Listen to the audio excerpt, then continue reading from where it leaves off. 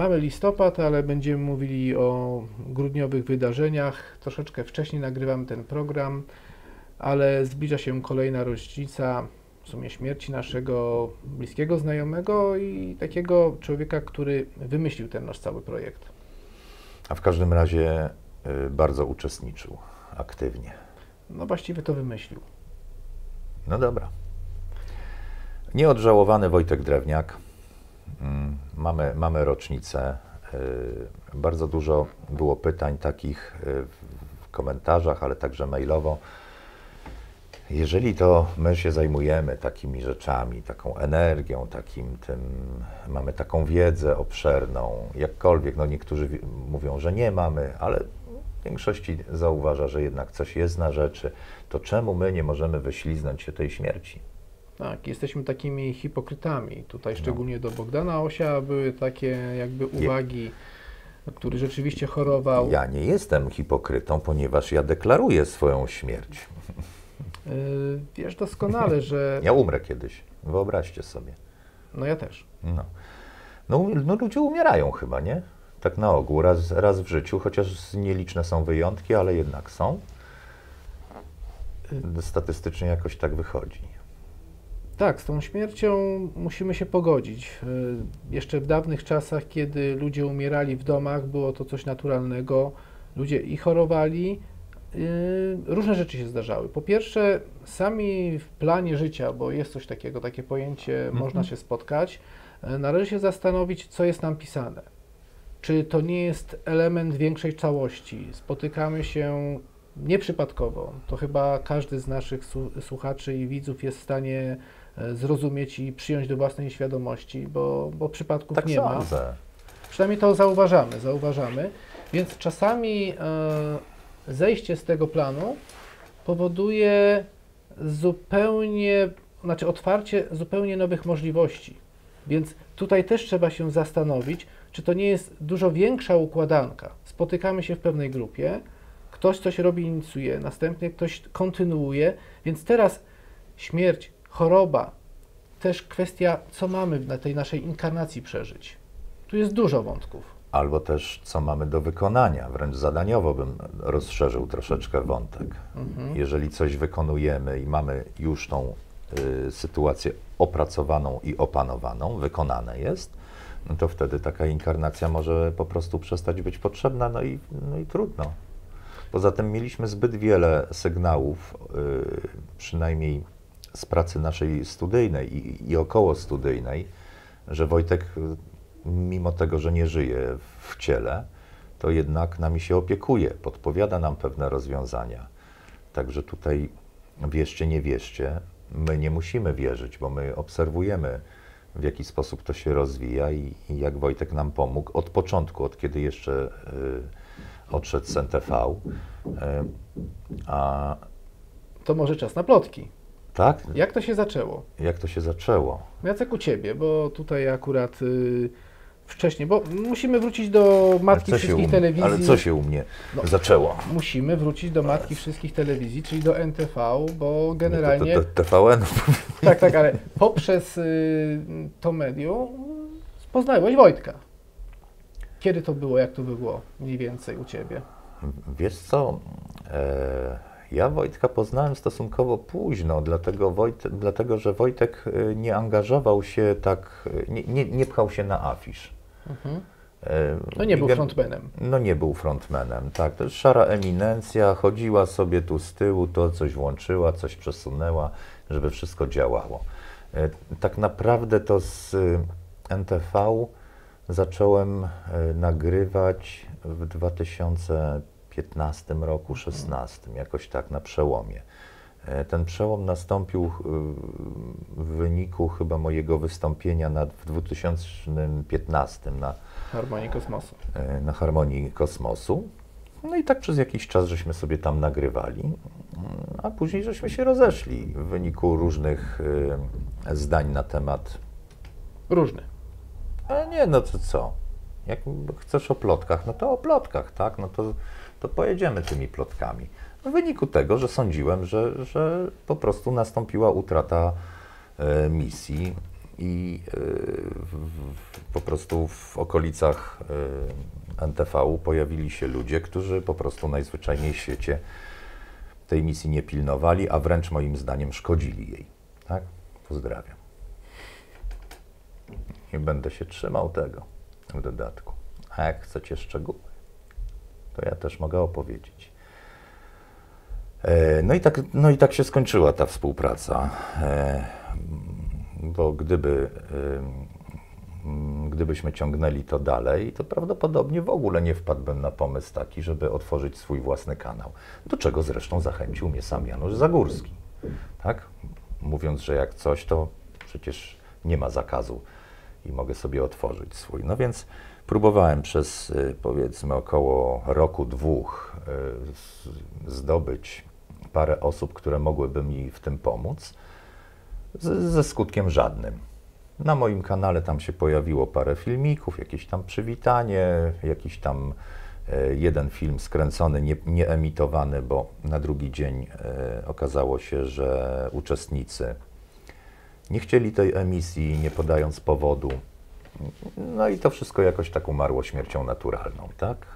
No i później e, no Wojtek e, po przeprowadzce NTV do Sobótki stwierdził, że on tam nie będzie jeździł. Przynajmniej takie słowa u nas mówił, tak? Bo mogą róż, różne historie krążyć po internecie, ale generalnie był zawiedziony tymi zmianami i także em, mówił o, o osobach, które za, zaczęły mieć wpływ na, na, na tą stację, na ten, na ten kanał.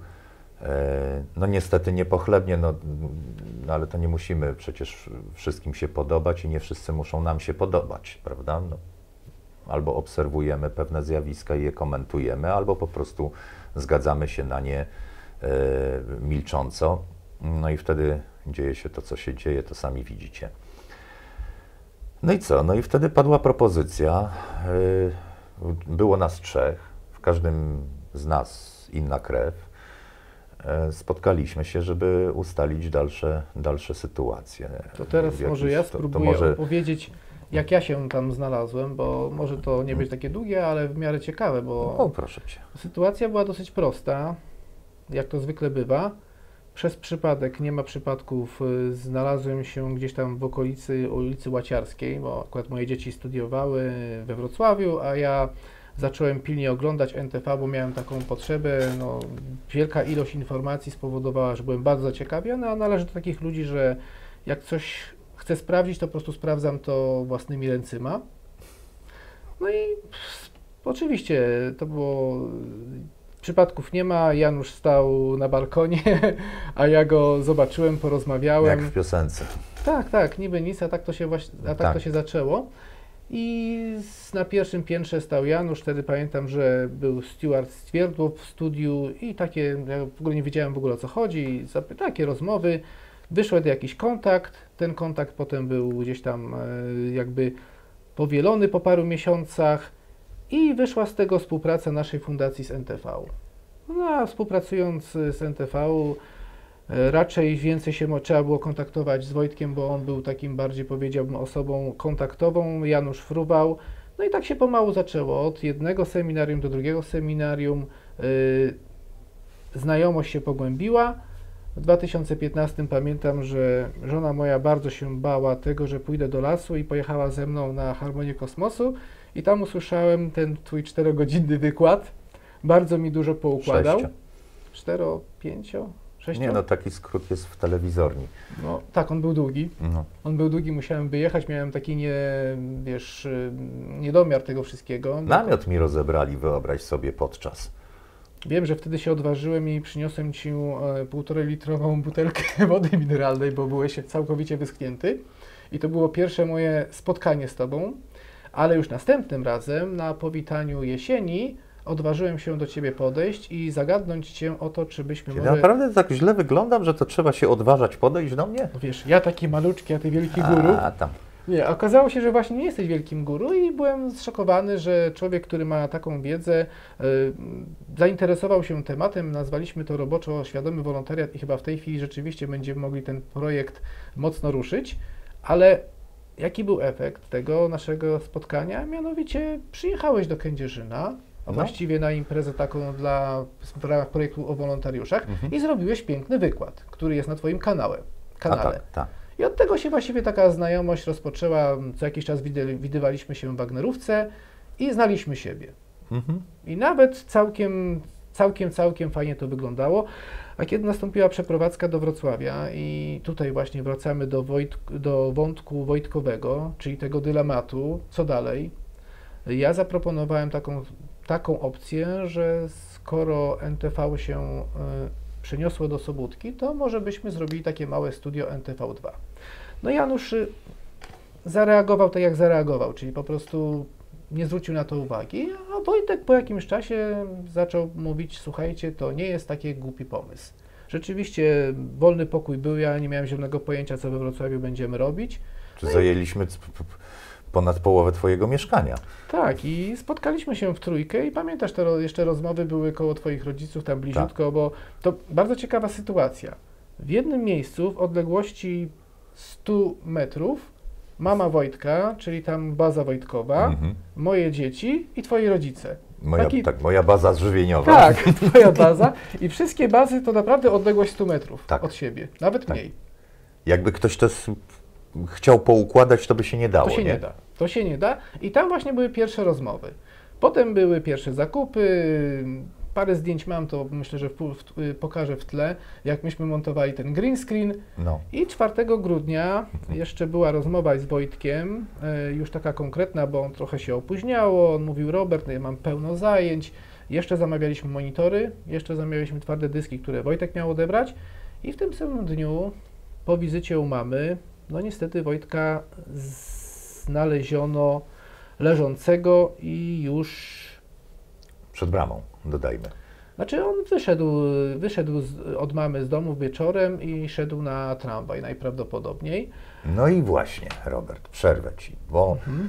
e, świat ezoteryczny szepce Mhm. E, o spiskach, o zabójstwie, o tym, że Wojtek komuś przeszkadzał, że to służby, że coś tam. Większość tych ezoteryków, rozkładając karty i lub inne e, artefakty do przewidywania lub też odczytywania mm, e, tych treści, twierdzą, że, że właściwie jednym głosem, że Wojtek został zlikwidowany. A ty akurat tak się złożyło, że byłeś najbliżej tego. No tak.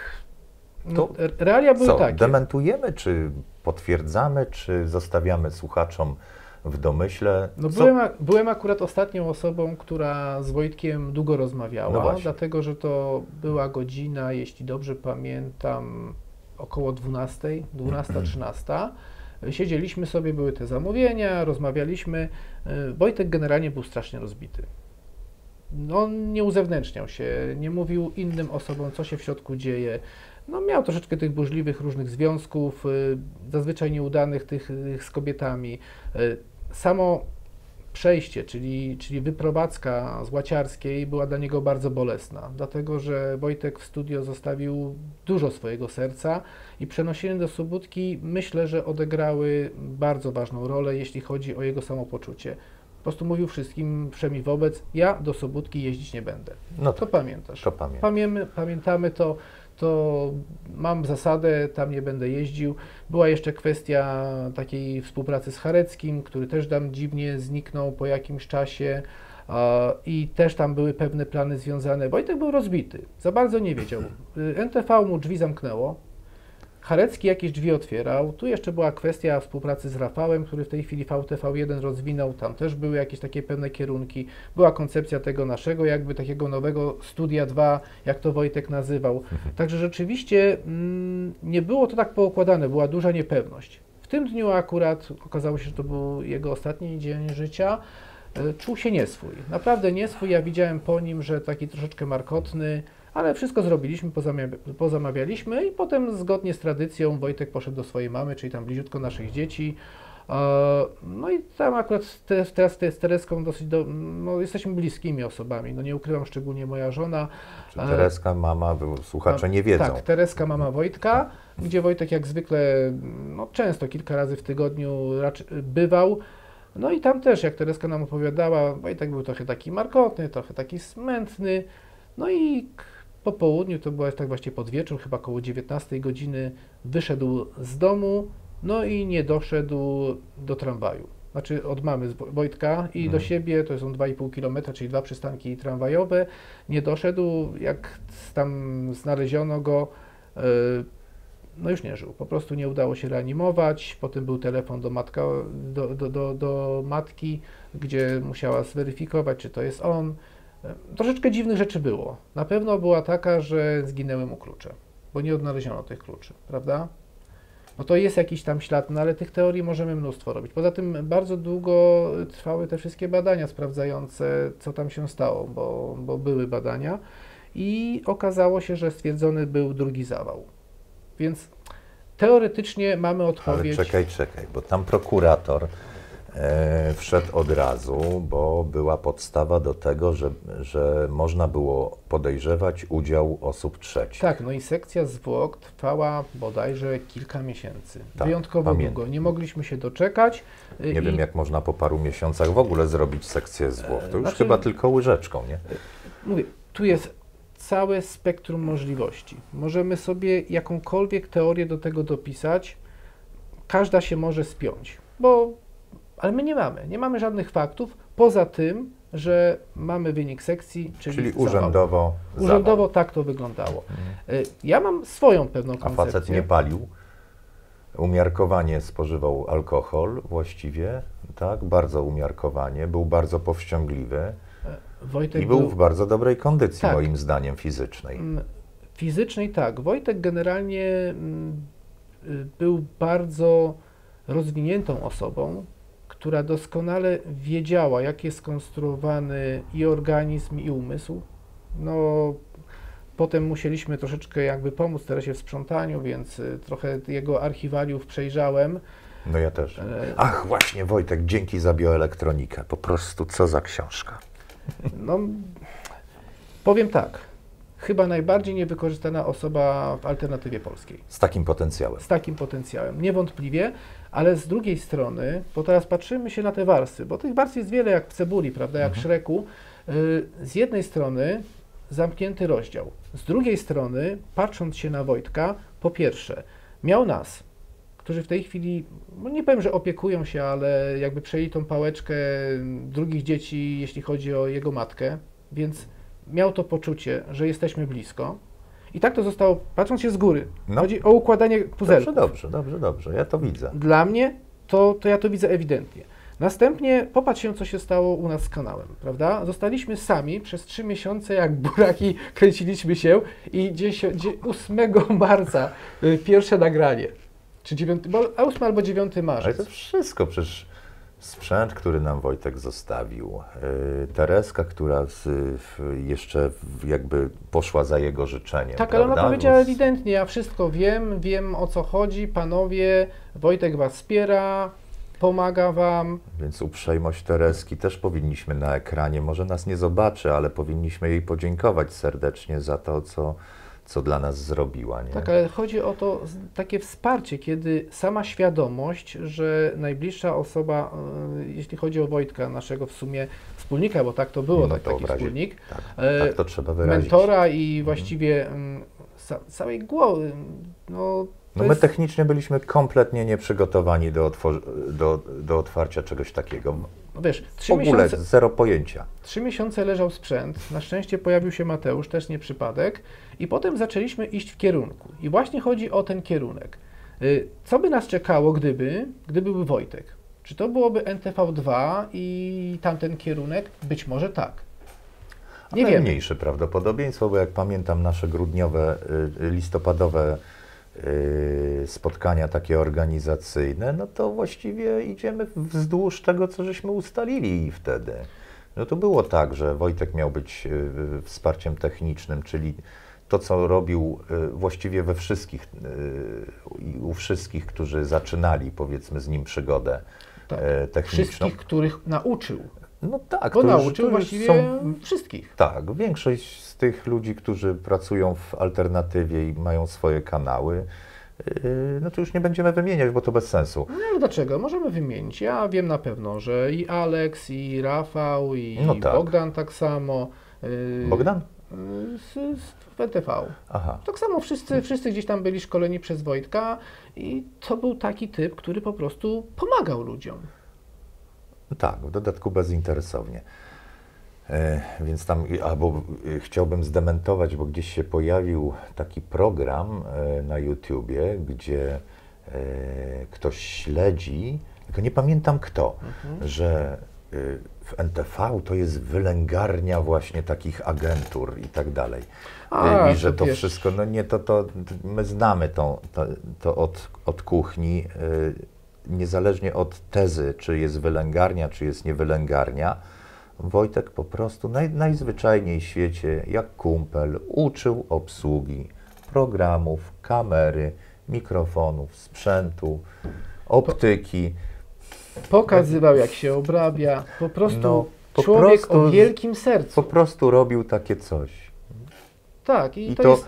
i, i to podejrzewam, że jakbyśmy teraz tych ludzi wszystkich, co z nim y, pracowali, zapytali, to by powiedzieli tak, tak było. No, Tak. potwierdzili. Że ja wiesz, ja wielokrotnie z Rafałem rozmawiałem, to Rafał mówi to właściwie taki drugi ojciec i ojciec, osoba, która... Przecież jeszcze przed swoją śmiercią z Rafałem jeszcze pracował przez chwilę. No Coś, coś tam robił.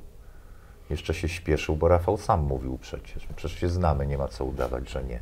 Tak, także wiesz, no ja, ja po prostu w archiwaliach jego w komputerze, kiedy po prostu musiałem też szukać parę rzeczy, bo na prośbę Tereski y, zauważyłem, że rzeczywiście to wszystko jest, to są stare firmy, ale mówię, to nie są aż tak bardzo istotne sprawy, tu mówimy tutaj o pamięci człowieka, Wojtka, który i miał duży dystans do siebie i miał przeogromne poczucie humoru, ja swego czasu spędziłem troszeczkę czasu, bo jakoś tak pojechaliśmy na, w czasy z UFO, Namówił nas, ciekawe doświadczenie, trochę zobaczyłem jak alternatywa się bawi, od środka, też bardzo ciekawe doświadczenie, myślę, że do końca życia zapamiętam, ale mm, pokazuje o zdolnościach organizacyjnych, o umiejętności kreacji, o otwartości y, i tutaj Poznałem go trochę bliżej, bo było trochę okazji do porozmawiania. Naprawdę dobry człowiek. Ja nie spotkałem osoby, która by powiedziała, że Wojtek zrobił coś złego komukolwiek. No ja też nie spotkałem takiej osoby.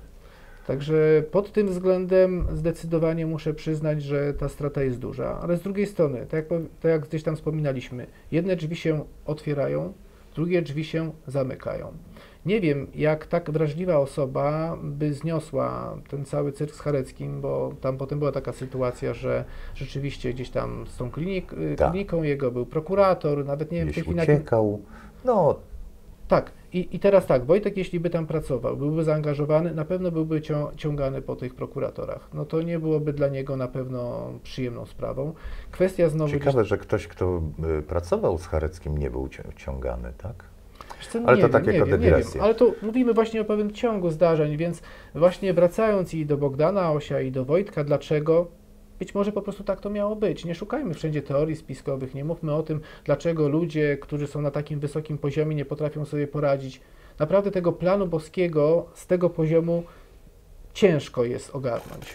Bogdan na y, końcówce swojego życia pozostawił nam y, bardzo poważną y, porcję swojej wiedzy, którą ja, ja z Bogdanem nagrywałem te programy, ale Bogdan również nocował u mnie, był moim gościem. To y, ten umysł był naprawdę tak bardzo sprawny, że on nie potrzebował żadnych notatek. To wszystko szło tak, z rękawa niezależnie od pory, dnia czy nocy, no, po prostu był zawsze przygotowany. To widać było to głębokie przego- y, przekonanie jego o tym, co on wie i jak poukładał tą wiedzę, poza oczywistym merytorycznym przygotowaniem, którego w ogóle nawet nie ma co kwestionować, bo, bo ja to widziałem i przy kamerze, i poza kamerą. To, to był w pełni spójny e, człowiek. Zakończył swoje życie, zostawił ogromną porcję wiedzy. W różnych, na różnych kanałach e, wypowiadał się. Tą końcówkę akurat zrobił u nas i chwała mu za to. No ale trudno mieć pre- pretensje do umarłego, że, że umarł, nie? A tu tak troszeczkę niektóre komentarze zabrzmiały, tak? Tak, tak, właśnie to jest hipokryzja, jak taki oświecony, tak jak mówimy cały czas. To jest, e, życie jest tak wielopoziomową grą, że rozpatrywanie tylko z takiej perspektywy, ha, taki mądry, a umarł, no jest co najmniej nie fair, bo nie wiemy. Nie mamy prawa takich wyroków stawiać, gdyż y, no, poziom No 3D nie nie, możemy, jest tak. takim poziomem, którym możemy w jakikolwiek sposób zbliżyć się do tego, czy można było, czy nie można było. Y, Bogdan walczył do końca, przynajmniej nam się nigdy w żaden sposób y, nie, nie, No dla nas zaskoczeniem było w ogóle, że, że, że odszedł, bo nigdy nie wyglądał na. Słowa skargi nie powiedział i nie wyglądał na takiego człowieka, który jest w złej kondycji. Y, Suplementował się dosyć mocno, bo tych tabletek rzeczywiście było dużo, ale nie wspominał, że to jest mocna walka, tylko po prostu taki styl, a my też jakby mm, przyjmujemy i wygląd, i t- tą manierę, ktoś tam często śmiał się, no wrę- wręcz się śmiali komentatorzy, a dlaczego takim, w takiej czapeczce, no po prostu miał swoje problemy i tak to wyglądało po prostu u niego. A ja w ogóle, taka myśl mi się pojawiła, mm, bo fajnie jest komentować to w ten sposób, y, nasze, nasze słabości, to czy ktoś odchodzi mimo takiej wiedzy, czy nie odchodzi, czy choruje i nie potrafi sobie dać rady ze swoją chorobą. Kto wie, jak, jak my skończymy, trudno powiedzieć. Mm, Ja mam, powiedzmy, bardzo aktywny tryb życia za sobą i nie mówię tutaj tylko o sporcie. E, więc też mo, mogę zapłacić za to po prostu z y, pewnymi rzeczami. I teraz, jeżeli my będziemy w ten sposób komentować to, między wierszami przebija się y, taki, taka troszeczkę kpina z tego wszystkiego, taka wątpliwość.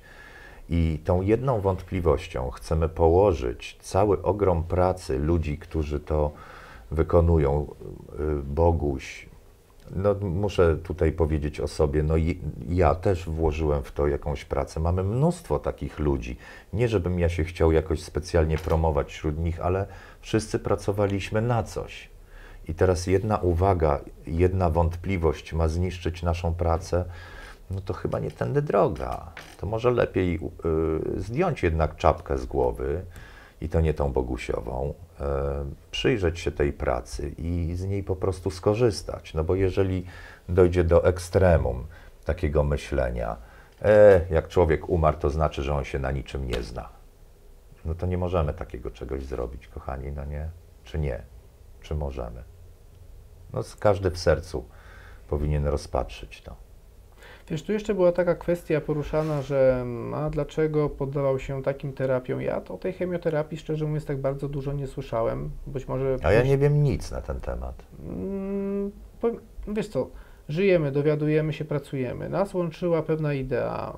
Bogdan, właściwie jak się to stało, że te nagrania się pojawiły? Wiem, że chyba przed jakimś powitaniem wiosny się spotkaliście i tam było gadu-gadu? Nie, bo w ogóle to ja występowałem w Serocku na wibracjach po Bogdanie Mhm. i tak się złożyło, że ja słucham Bogdana, no i mam wejść na scenę po nim, właściwie bez przerwy żadnej, a on mówi to, co ja mam mówić. Mhm. Znaczy, może nie zupełnie, ale widzę tutaj totalną zakładkę, taką, wiesz, tak jakby go ktoś wkleił i czuję, że mój wykład później będzie uzupełnieniem i fajnie mi będzie pociągnąć na jego wypowiedziach pewien taki klej, że to mi się połączy. No, nie miałem możliwości e, spotkania się z nim, no bo minęliśmy się, bo to program programem trzeba e, po prostu to punktualnie jakoś tam zapinać. No ale po tym okazało się, że on też stał przed sceną i słuchał mnie po swoim wykładzie. Ja podszedłem do niego, mówię, przepraszam cię, żeśmy się znali tak tyle o ile, wiedzieliśmy kim jesteśmy. Tak jak się nie? wykładowcy mijają. No, tak jak się wykładowcy mijają. Mówię, ale dałeś mi taki support, że w ogóle dzięki, dzięki bardzo. On mówi, kurczę, no właśnie, jak to się wszystko klei. No i zaczęliśmy rozmawiać. To tu, to tam, spotykaliśmy się.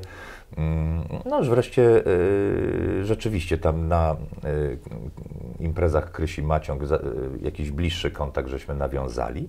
No i zaczęliśmy się umawiać. No trzeba głosić prawdę, tak? Mamy takie założenie, że na dzisiejszy stan wiedzy naszej jesteśmy przekonani o prawdziwości tej wiedzy, przedstawiamy tą wiedzę. Boguś był całkowicie spójny z tym wszystkim, więc się wkleił w obraz WDW, właściwie bez, y, no bez reszty. To wszystko, to co, to co on zrobił, to jest kawał po prostu dobrej roboty. Ja wiem, że poziom tych rozmów może być męczący, ponieważ tam wchodzi w, y, jeszcze filozofia, dużo mm, starożytności, historii, y, więc mm, ciężko jest nadążyć za Bogdanem, ale no, taka postać też jest potrzebna po prostu. Nawet te trudniejsze dialogi, one są potrzebne, bo być może nie teraz, ale za chwilę ktoś do nich sięgnie. Co widzimy zresztą po oglądalności, nie? że tam y, no, jest troszeczkę słabsza, tak?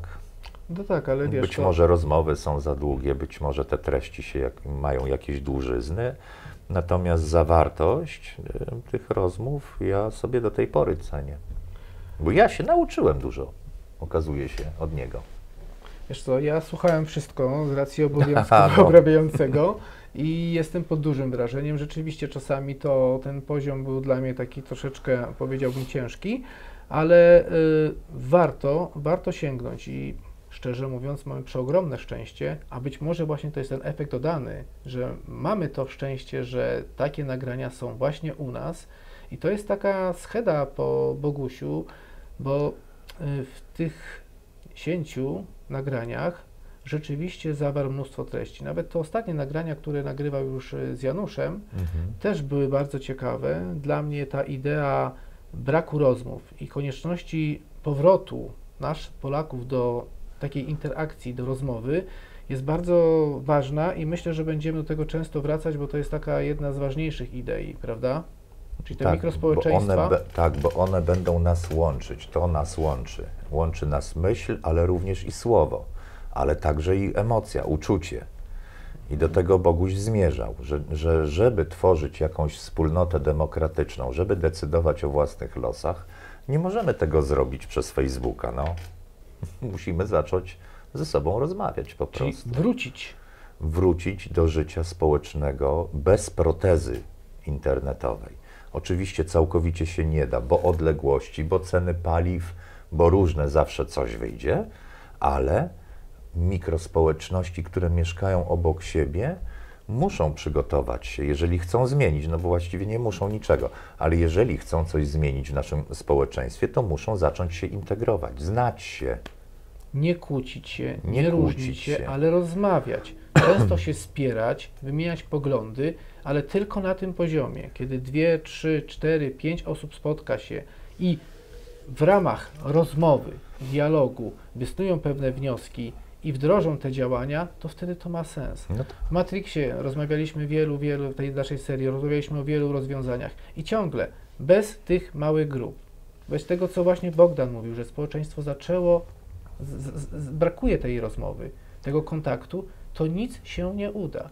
Więc widzą Państwo, jak dla nas bardzo istotną osobą jest Bogdan, jak bardzo istotną osobą był Wojtek, no bo no, niby nic, a tak to się zaczęło i właśnie te chłopaki są bardzo istotne, także oni cały czas gdzieś tam Tak. z góry mają tu cegiełkę. Oj, i to mocno. Tu, w społeczeństwie, ale też i w polach morfogenetycznych zamontowali swoje, więc dajmy im umrzeć w spokoju i odejść. Myślę, że ta konkluzja na koniec będzie y, wystarczająca. Jak najbardziej. Pozdrawiamy Państwa, pozdrawiamy nieżyjących, którzy nas słuchają. Również wszystko jest w najlepszym w porządku. Działajmy dalej. Do zobaczenia. Dziękujemy Państwu, chłopaki. Dziękujemy. Dziękujemy. Tak.